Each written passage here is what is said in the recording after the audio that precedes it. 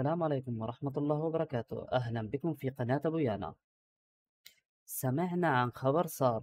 18 مريض بسرطان القولون. المرحلة الأخيرة تم شفائهم جميعا بنسبة 100% بعد تجربة عقار يدعى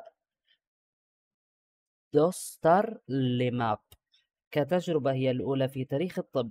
أن يصل النجاح إلى 100% حيث عالج جميع حالات السرطان. إنها خطوة غير مسبوقة. يستخدم هذا العقار لعلاج سرطان بطانة الرحم ويستخدم هذا الدواء أيضا لعلاج أنواع معينة من الأورام الصلبة. إنه يعمل عن طريق تغيير عمل جهاز المناعة لديك وتوجيهه لمهاجمة الخلايا إلى فئة من العقاقير تعرف بأس... باسم الأجسام المضادة وحيدة النسيلة. وهذا الدواء هو يأتي بعيار خمسين ملغ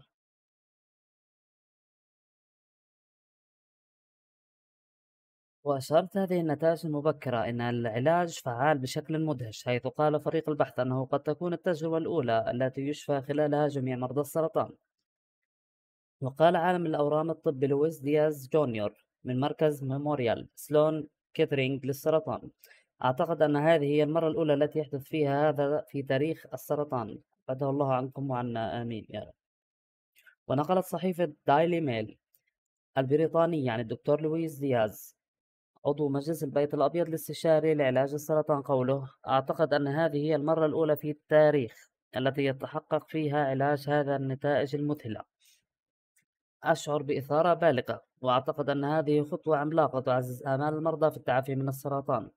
وطابع وتابع قائلا ندرس ما إذا كانت هذه الطريقة نفسها قد تساعد في علاج أمور أورام سرطانية أخرى.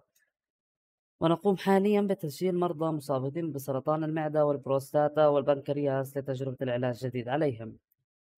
يا ريت تعملونا follow subscribe و like للفيديو. تحياتي لكم.